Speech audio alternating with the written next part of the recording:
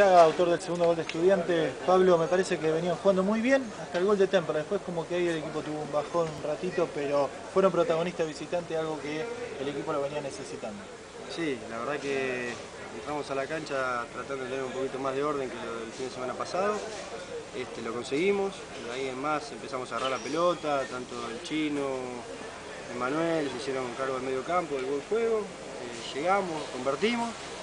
Y el segundo tiempo, bueno, eh, ahí Tempo le propuso algo más, puso más gente en ataque, entonces ahí nosotros cambiamos, pusimos dos líneas de cuatro y, ya al, pasar el chinto campurrino sobre izquierda perdimos el fútbol que nos da él y, la tenencia de la pelota. Y bueno, sabemos que íbamos a, trabajar todo el partido, que le teníamos que luchar, vino el descuento, la verdad que el segundo tiempo nos metió Tempo, es la realidad, pero con mucha personalidad este, sacamos el partido adelante. Hay veces que los partidos los tienen que ganar jugando y, en momentos luchando. Y bueno, el segundo tiempo lo luchamos y, por más que, el juego nos superó, en la lucha eh, por lo menos hicimos que el resultado quede igual y, y llevarnos los, tres puntos, que es lo que queríamos. Pablo, pivoteaste en el primer tiempo, te juntaste con los, centrales, con tanto como decís, con Soria, con el chino, con Emanuel. Tuviste varias muy claritas como para convertir, se te dio en el segundo tiempo, recién lo hablamos con el chino, me dice, lo conozco de memoria Pablo, lo hablamos antes del partido, te puso una bocha barba.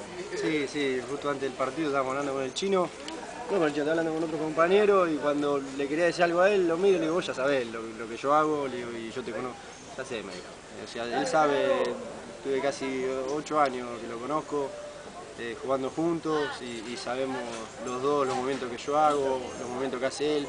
Y yo sabía que en un momento me iba a meter una pelota de gol. Este, después estaba en mí, no fallaré. Bueno, por suerte no, no fallé. Fue un lindo gol, una linda jugada, podríamos haber aumentado. Este, por eso es una lástima que después se haya complicado el partido, pero contento con los puntos. Y con vos también porque aprovechaste la oportunidad. Para nosotros fuiste la figura de estudiantes hoy, Bueno, pero creo que la, figura, yo te agradezco, la figura para mí fue el equipo, porque creo que todos mantuvimos un, nivel alto. Cuando se tuvo que jugar se jugó, cuando se tuvo que luchar se luchó.